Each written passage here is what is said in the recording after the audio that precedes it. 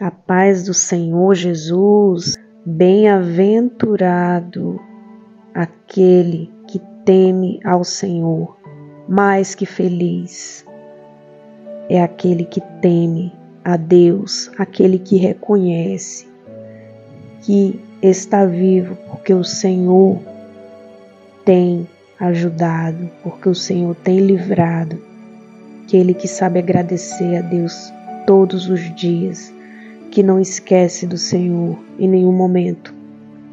É muito fácil lembrar de Deus nos momentos de aflição.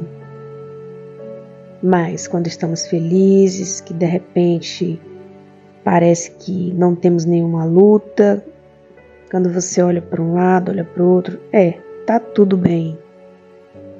Algo de errado tem.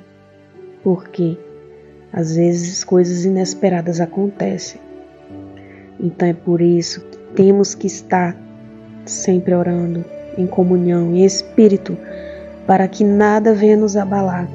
Porque se aparecer a dificuldade, o seu espírito vai estar inabalável, porque você vai estar na presença de Deus. Agora, quando nós não estamos em espírito, qualquer situação nos abala. Nós viveremos aflitos, preocupados, mas quando estamos na presença do Senhor, no abrigo de Deus, não é qualquer coisa que vai nos abalar, porque mesmo que apareçam as dificuldades, saberemos que temos um Deus que resolverá para nós. Amém. Fale com Jesus nesse momento. Esteja você alegre, feliz ou esteja você triste. Se alimente do Senhor nesse momento, sinta a presença dele.